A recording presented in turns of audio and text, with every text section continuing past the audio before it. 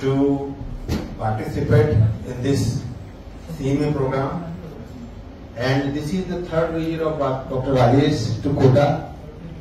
And uh, he always feel pleasure and uh, happiness to share his knowledge not only in Kota but all, all around India and this is a great uh, inspiration for every one of us. So welcome Dr. Rajesh.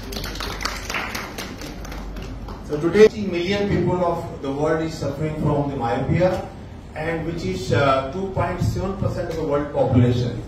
And uh, during the COVID and according to a published study in the Lancet, there is more than 10% increase in the incidence of myopia and the incidence was 10 to 30 percent and uh, they the Lancet named it a quarantine myopia or lockdown myopia. So after 20 years there will be a lot of population of the myopia high myopes and phakic lens can be one of the important modality to correct the refractive errors especially high myopia. If you talk about the spectrum of the refractive surgery, we have three types of refractive surgery. One is cornea based, lenticular based and combined. Cornea based surgery, we all know about the radial keratotomy. You must have seen a lot of cases of RK coming with the refractive surprise, with the fluctuating vision. And these cases, they pose challenge for cataract surgery also because power calculation is very difficult. And we are witnessing the era of PRK, LASIK, SMILE, silk, conductive keratoplasty, corneal inlays and rings. If you talk about the lenticular based surgery, we uh, have the option of clear lens extraction. IOL is one of the most preferred option for lenticular based surgery because it's the reversible. The quality of vision is excellent and uh, it can be done in thin cornea and high refractive error. And of course, the refractive lens exchange with the implantation of trifocal and toric trifocal lenses is also an option. And we do have the combined procedure which is known as bioptics, combined uh, LASIK laser surgery, phakic lens surgery with touch-up of the LASIK laser which is known as bioptics. If you see the history of phakic lenses, the first phakic lens implantation was done very close when Ridley was implanted his first IOL in 1950 by Dr. Strampelli. He implanted the first phakic lens in 1953 and uh, grossly phakic lenses can be classified into three categories angle supported lenses, iris fixated lenses and posterior chamber lenses. Angle supported lenses and iris fixated lenses are no more popular now because of a lot of complications and nowadays the posterior chamber lenses are most preferred. And this is the photograph showing the first implantation of the phakic lens which was angle supported. You can see the large PI at superior side. And uh, this is the lens uh, implanted by Strampelli and most of these lenses uh, they develop lot of complications such as corneal decompensation, people ovaling or glaucoma etc etc. The first implantation of posterior chamber phakic lens was done by Dr. Fyodorov in Russia in 1986 and this is the design of the Fyodorov lens which is known as mushroom shaped or collar button type of phakic lens. This is the optic you can see here. This is the optic here and uh, the haptics are in the posterior chamber and the optic is coming in the pupil, pupil area on the uh, above the iris. And uh, there are so many designs. I have seen those kind of designs which are old historical. For just for academic purpose, if I can ask, any one of you can answer what is the design of this lens? Anybody any guess? Among residents? कोई guess कर सकता है कौन सा lens है? Silicon and the haptics are made from PMMA. So you implant first the haptics and then you inject the optic into the anterior chamber and then, then optic and haptics are assembled in the anterior chamber. So this is Kelman Duet phakic lens and uh, these uh, lens, there are so many uh, kinds of phakic lenses over there. But most of these lenses are no more used now. It's very uncommonly used now. And you have seen, you, you can see the lot of complication of, of the phakic lenses. And you can see this is the the decentration of the iris fixated lens and this is the articulate ovalization and uh, corneal decompensation etc. So that, therefore these lenses are associated with a lot of complication and therefore they are not preferred. And these are the severe uveitis. Uh, uh, lot of research was done on PRL, phakic refractive lens. And when I was working with Dr. David Apple in US, we had a lot of research on this design. But unfortunately, this design was associated with the decentration and dislocation. So this design was also not very commonly used nowadays. So today, in today, uh, I'm going to talk about from SuVi Eye Hospital, Kota, Rajasthan.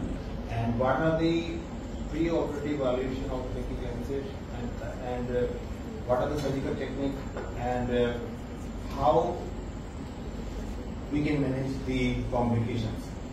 So, uh, posterior chamber lenses are very commonly used nowadays uh, because a lot of Indian companies are, which is ICL, which has uh, the record, uh, track record of more than 30 years. The first STAAR ICL was implanted in 1993. So it's more than 30 years of experience in STAAR uh, phakic lenses and Indian companies are also uh, started manufacturing uh, lenses.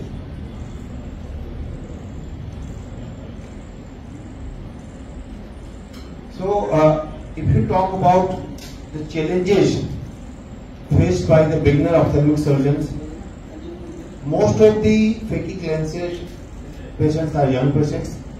They have very high expectations, and sometimes uh, when the ophthalmologists start uh, their practice, uh, they lack the equipment phakic lenses in the practice. So, the question comes about the indication of phakic lenses. The commonest indication for phakic lens is myopia and you can implant phakic lens from myopia minus 3 to 30 diopter. And now, nowadays companies are manufacturing customized phakic lenses to correct myopia uh, up to 30 diopter or even more and astigmatism up to 10 diopter. Hyperopia Theoretically, you can implant. There are other indications such as presbyopia, where you can implant multifocal phakic lens, post-RK, post-PK, stable keratoconus, and also in post-LASIK cases to manage the refractive surprise after cataract or refractive surgery. So these are the some of the indications uh, of phakic lenses, and with the availability of toric phakic lenses and and uh, it is especially useful when LASIK is not feasible, for example, in very high refractive error, minus 10, minus 12, minus 20. If the cornea thickness is less, less than 480 micron, if the cornea is too flat or too steep, then also this can be a good option. At present, various companies are manufacturing phakic lenses. We know about the ICL, manufactured from the start, and the first phakic lens was introduced by STAAR in 1990. This is posterior chamber lens. And then Indian manufacturers such as Care Group India, Biotech and Upper Apasoni also introduced the phakic lens. And now with the availability of toric phakic lens, we can correct myopia and we can correct refractive error. This is the photograph of the STAAR ICL. First implantation was done in 1993. The so far more than 2 million cases uh, have been done uh, with the STAAR ICL and this is one of the most commonly used uh, phakic lens and Indian company Care Group India introduced IPCL in 2014 and they have they are supplying IPCL in more than 40 countries and more than 2 lakhs IPCL have been implanted worldwide. And this is the animation showing the the IPCL, I sorry ICL. The IPCL is uh, pretty posterior chamber lens, and you can this has a lot of uh, design features. The first important design feature is the hole in the center, and this hole is like a cone. So we have the anterior opening of 360 micron and the posterior opening is 420 micron. So this whole center hole is very important and this is like a cone. So this uh, avoid this minimize the photophobia and light scattering and also facilitate aqueous circulation. So with these design features, the need of pre-operative YAG PI is no more needed. So this is one of the most important design feature of these phakic lenses. Before these designs were introduced, every surgeon need to do two YAG PI before taking case in the OR. So, and you can see there are the holes in the peripheral superior side. There are two holes which also provide the aqueous circulation, and there are holes at the optic haptic junction, and uh, this is manufactured from the hydrophilic acrylic material with 16% water content. And uh, the most uh, important part that this can be implanted uh, using the using the injector. And once you have implanted uh, the foldable lens the loading part is fairly easy. You can practice it few times and then you can comfortably implant the IPCL with a STAAR ICL, you need to really learn the loading and practice it few times. And it's very important for any phakic lens to correctly load the lens. Loading of the lens is very important. For that, you have to really identify the the uh, hole of the leading side and position properly, load properly in the cartridge. And once you inject it, then make sure that it's unfolding in proper way, correct way. Otherwise, any any upside down implantation of the phakic lens can lead to problem and it can lead to cataract formation or it can uh, lead to complications. And if you see that any lens is not loaded properly or not uh, implanted properly, then you can always remove it and then reload it again or uh, just do it properly. And it's very important to evaluate the sizing of the lens properly. Sizing is very important. And for that I am going to tell you about the some of the tests which we are uh, going to do to evaluate the sizing. And you can see the implantation of the phakic lens and there is a you, you can just go tuck it behind the iris. And it's very important uh, to not to touch the central part so that and uh, while removal of the viscoelastic is being done? Uh, always remove the viscoelastic carefully and uh, don't go behind the lens because it can lead to uh, it can uh, damage the crystalline lens capsule. And also once you remove the viscoelastic just be careful take your time and remove the viscoelastic thoroughly so that there is no precipitation of the viscoelastic uh, between the posterior surface of phakic lens and anterior surface of the crystalline lens and this is the photograph showing the refractive implantable lens by Appasamy and they have introduced the uh, phakic lens and toric phakic lens is also available by Appasamy. And this is the ideal phakic lens from Biotech. And uh, this is also an excellent uh, phakic lens. Uh, refraction for at least one year. And most of these cases they have high myopia and they are not suitable for LASIK uh, or other refractive surgery due to high power or thin cornea. The anterior chamber depth should be 3 millimeter in the beginning always try to use the phakic lens and anti-chamber lens in 3 millimeter and you should do the specular endothelial cell count so that the specular cell count should be more than 2000 or, uh, cells per cubic millimeter and there should be no other ocular or retinal pathology. All these cases needs a very thorough retinal examination in order to find out any netis and these retinal pathology must be treated before. And any cases who have poor endothelial count or anterior depth less than 3 millimeter should be should not be a good candidate for lens. History of uveitis, presence of synechiae, glaucoma, raised IOP, evidence of cataract or nuclear sclerosis, or family of retinal detachment, they are they should be excluded from lens. So the workup is very important. In lens implantation, it's very important to to calculate the precise size of the phakic. For that, the pre-op workup is very important. Pre-op workup include the vision, uh, IOP, gonioscopy, K reading, central corneal thickness, white to white horizontal corneal diameter, anterior segment length from endothelium, axial length, and follow anterior segment and posterior segment examination, including OCT. And the pre-op YAG-PI is no, no, no more needed with the latest design. And this is the most one of most important uh, workup is measurement of white to white distance and we can use the digital caliper or if you have access to the high frequency UVM then you can precisely measure the surface to surface diameter because white to white diameter is one of the indirect way and you have to add 0.5 in this measurement if you have high frequency UBM, then surface to surface diameter can be measured, and sometimes white to white, there can be uh, discrepancy in the white to white and surface to surface. There are few cases reported uh, this discrepancy. So it's very important that you can always cross check the white to white, and if you have access, then you can use high frequency UBM. 2% hydroxy propyl methyl cellulose. Avoid using the dispersive viscoelastic such as Viscoat and uh, you can insert the phakic lens uh, and then remove the viscoelastic should be done um, and then external hydrogen and intracameral injection of moxifloxacin based on your choice.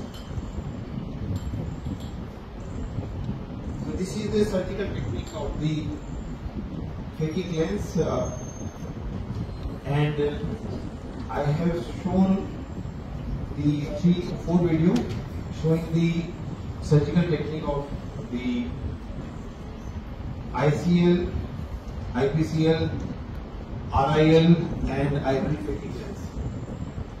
So it's very important that first you properly load the lens. Sometimes there can be difference in the loading of the lens because every for example, like ICL, it has different uh, loading, you know, technique. The phakic lens, but always pay attention on the landmark. For example, some companies such as it can be sometimes confusing. So always pay attention to the instructions and follow the the, the guidelines as per company's uh, suggestion. And it's very important to load it properly because once you load it properly, then then half surgery is done. And then once you inject it, push it into the chamber, watch for the unfolding of the the haptics and then watch for the the landmarks so that you can correct the position of the uh, the uh, if there is any upside down implantation, you can correct it. And this is a video showing the piggyback uh, implantation of uh, multifocal IPCL. This was the first case which I had done, uh, I think uh, seven years back. And uh, with the availability of the phakic, multifocal phakic lens, we can correct the presbyopia, we can correct the uh, any patient who is not happy with the monofocal lens, we can implant in the piggyback manner, and this can help to get good vision through near also. So this is the implantation of phakic lens uh, in a case who uh, where we did the cataract surgery and implanted the monofocal lens, and the patient wanted uh, the good vision for near also without glasses. So we implanted the multifocal IPCL in a piggyback manner. The some photographs of the multifocal IPCL in post-op period. And the vision was uh, distance vision was 6 by 6 under it. And after IPCL implantation multifocal IPCL, the near vision was 6 by 10 6. The post medications are the protocol is similar to cataract surgery uh, and uh, antibiotics, steroids, lubricating eye drops, and the systemic acetazolamide is usually given. And uh, in the last 10 years, uh, we have planted more than 500 eyes, and uh, according to our experience, uh, we have done the pre-op YAG in the beginning, only in initial two cases, and uh, most of the company manufacturing the phakic lenses, they are now they are due to the designs of the phakic lenses, pre-op PI is not needed, and uh, most of the cases, uh, you can see, sometimes the pigments, and if you don't remove the viscoelastic, sometimes you can see the viscoelastic precipitation, and if the vault is good, this precipitation will disappear, and the, and it's very important uh, to evaluate the vault. The vault should be between 250 to 750 microns. If vault is too less, then there is high chances of uh, formation. If vault is too much, then there is chances of glaucoma. And you can see, this is the viscoelastic precipitation here, and uh, this disappears in past most of the time. So coming to the complications of phakic lenses, so intraoperative complications may occur if you don't load it properly. Sometimes there can be damage to the optic or haptic uh, while implanting a lens, and sometimes there can be upside down implantation. So it's very important to pay attention on the landmarks, load it properly, and once you inject, inject slowly so that you can watch the unfolding of the haptics. And if that time you that time you realize that the landmarks are not visible properly, then you can always rotate the injector and always take your time and uh, if there is upside down implantation then remove it because it can lead to cataract formation. And uh, post operatively it is very important to inject intracameral pilocarpine just to make sure that the, the are behind the iris. Sometimes there can be one haptic plate is there above the iris and then you need to go to OR again and then just push it just uh, so it's very important to use pilocarpine and achieve the uh, pupillary miosis so that you know, the pupil is, if pupil is round, then all the foot plates are behind the iris. And in post-operative period, there can be also uh, OVD precipitation, there can be increase in the IOP, and uh, there can be rotation of the phakic lens. If the sizing is less, then phakic lens can may, may rotate. There can be pigment dispersion, and if there is low vault, there can be there can be formation of subcapsular precipitation. On the uh, lens and these are harmless. And uh, if there is a increase in the phakic lens vault, the, the the cause is oversized phakic lens and the sequelae can glaucoma and uh, you can explant the phakic lens and remove with the undersized lens, little less size and 0.25 to 5 micron sizing in the lens is equal to 150 micron of the wall. 0.25 to 5 millimeter is equal to 150 micron. And uh, if there is a decrease in the walt of the phakic length, then there is a uh, risk of antisubcapsular cataract and uh, here an explantation is, is needed or you can just observe it that the walt is too less, for example 100 or uh, 80 micron, then perhaps it's better to explant it. And uh, explantation is is uh, done for because of to, in case of cataract or glaucoma correct power. And this is the video showing the explantation of the phakic lens. This was one of my first case uh, where uh, I just uh, implanted the phakic lens and it was undersized. So there was less vault so I explanted and exchanged with the uh, another uh, good size lens. So once you expand the lens, then explantation is straightforward like you just need to do injection of 3 millimeter and use uh, dispersive OVD to coat the endothelium and you can hold it and take it out. So you, there no need of uh, enlarging it into uh, like you know uh, big size. You can expand it uh, by 3 or 3 by 4 millimeters. And phakic posterior lenses, uh, there are a lot of uh, advancement has been done with the technology of pharmaceutical company. Uh, it is possible to use the phakic lenses for correction of high refractive error and uh, also there are cases like post RPA, post PKA and we can use uh, phakic lenses to correct uh, the to uh, to correct the press biopsy also. Thank you very much.